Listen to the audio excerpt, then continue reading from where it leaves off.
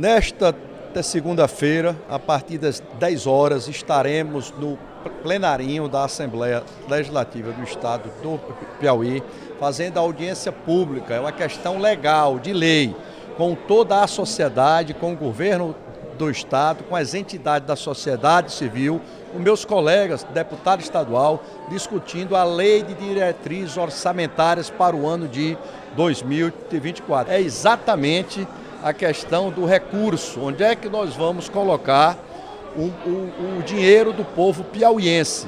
Não só aquele recurso que é originário aqui, mas os repasses, os é, empréstimos, todas as prioridades. Nós temos os prazos de emendas, nós temos os prazos de ajustes, mas com certeza eu espero até o final da primeira quinzena de julho estar aprovando o relatório do final no plenário da Assembleia.